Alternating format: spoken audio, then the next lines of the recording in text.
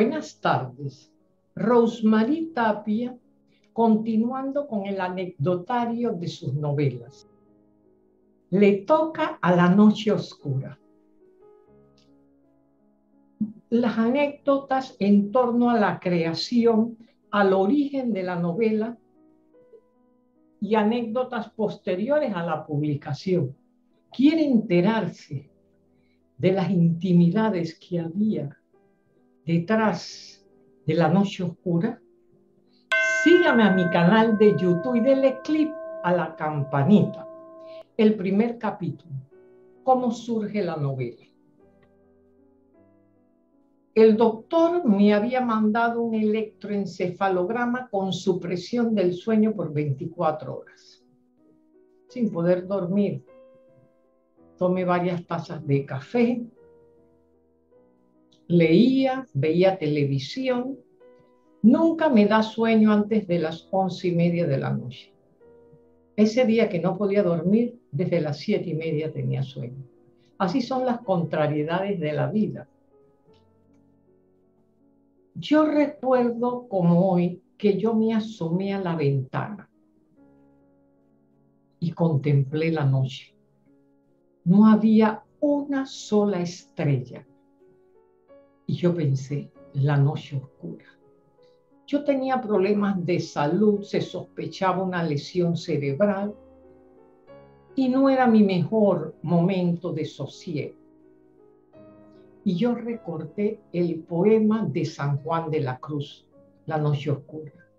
Ya yo tenía tres novelas, digo, voy a hacer una novela que el título sea La Noche Oscura, donde la protagonista hace una crisis existencial y le busca el sentido a la vida.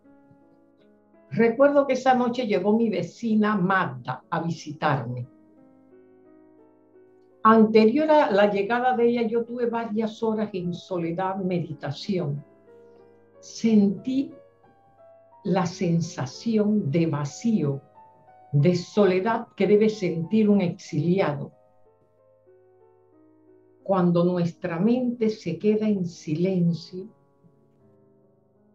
hace como un examen de toda la situación del entorno y me di cuenta que mi mente corría a una velocidad vertiginosa.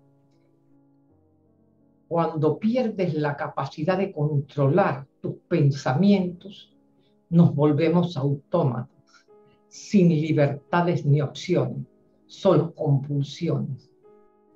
Guarde silencio. En el silencio tú encuentras tu centro. Y me hice la pregunta que todos nos hacemos en esa noche oscura de reflexión. ¿Quién soy? ¿Para qué estoy aquí?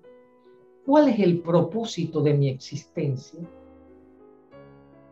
Pero ese silencio, como les dije, nos hace volver a nuestro centro. Y recordé los días de mi niñez cuando estaba sola, siendo una niña, que yo tenía un amigo imaginario. Estoy segura que era mi ángel, Rafael. Y yo lo invocaba y conversaba con él. Y yo invoco mi ángel. Rafael, estoy sola y siento como que me contestaba, no estás solo, yo estoy contigo. Yo estoy convencida de que todos tenemos un ángel a nuestro lado que nos acompaña en las horas de desolación. Estoy convencida de eso. Es más, he estado en peligro y he sentido esa presencia protectora. Llega mi amiga Magda y me dice, Magda, vamos, te invito a tomar un café. Digo, no los tomamos aquí mismo, no estoy en condiciones de salir comenzamos a conversar y le digo yo, voy a hacer una novela que se llame La Noche Oscura. Dice, ay, qué título más subjetivo, me, me parece muy buena idea. Y conversamos, digo yo. No sé por qué a veces uno se siente perdido entre una multitud indiferente entre acontecimientos desprovistos de sentido. Llega ese momento que uno dice, ¿no? Yo voy a buscar mi misión en la vida. No importa que estés enfermo, no importa que estés triste. Búscala. Bueno, comenzamos para entretenernos. Antes, recuerden que esta novela se hizo como en el 2001-2002. Habían salas de conferencia en internet.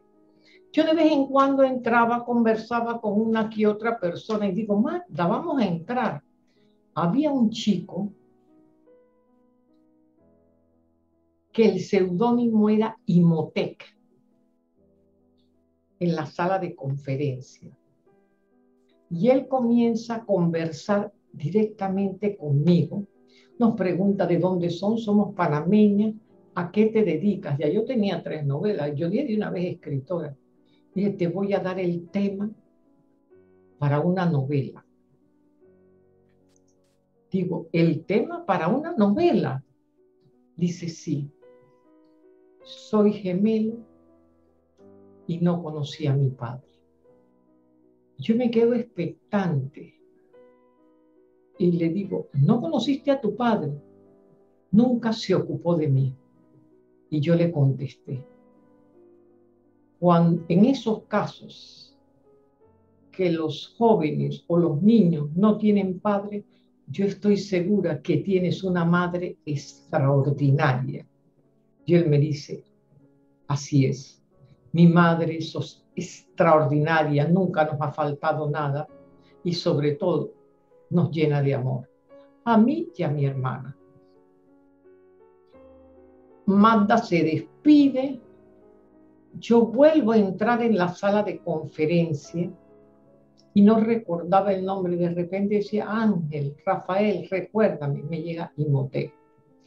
Me dice que su nombre era José Manuel, muy español,